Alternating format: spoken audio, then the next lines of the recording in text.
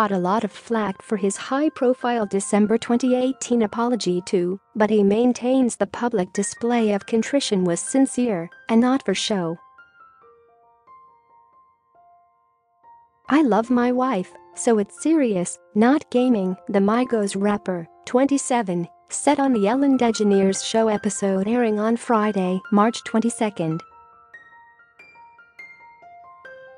So, it's like, we can have schedules, and we have shows, and I just felt like, if I gave a break between time, I just can't give that break between time. So it's not forefront. I step to it as a man and say I'm wrong. And you don't have to take me back, but I just want you to know I love you and I care.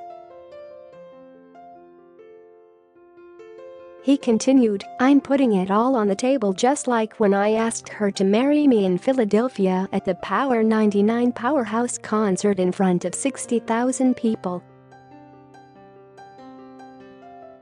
And when I did that, they were like, oh, well, why he do that? Cause it's just my affection, showing I'm not hiding it. I'm not hiding my affection for you, that's all. That's just me being vulnerable, I guess.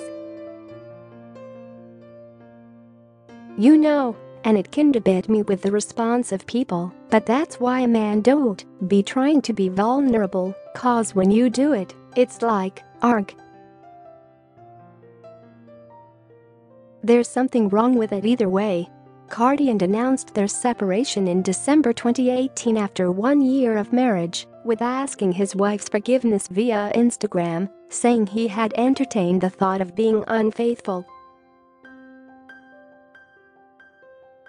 Later that month, he crashed the 26-year-old's Rolling Loud festival performance, bringing along a massive floral display spelling out the words, Take Me Back Cardi. Cardi brushed off the interruption and continued with the show and afterward, fans on Twitter accused of apologizing for publicity.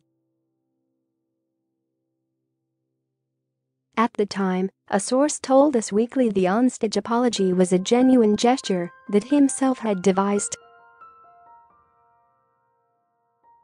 What about this is a PR stunt, the source said.